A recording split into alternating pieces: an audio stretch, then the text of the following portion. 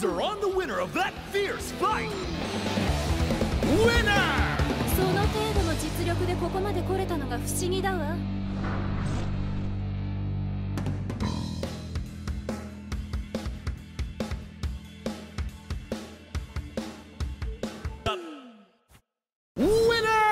慰めの言葉が欲しいならこんなところに転がってないで医務室に移動したらどう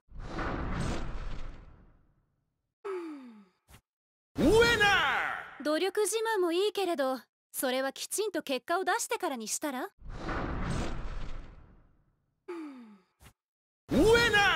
慰めの言葉が欲しいならこんなところに転がってないで医務室に移動したらどう!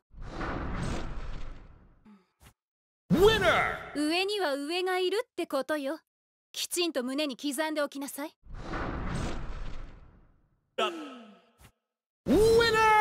さてと負けた狼さんには私の可愛いペットになってもらおうかしら。なんてね!一進一退の攻防だったわね。けど勝ちは私がもらっていくわ。Winner! 体格差が勝敗を決めるわけじゃないのよ。むしろ大柄な分組みつきやすくて助かるわ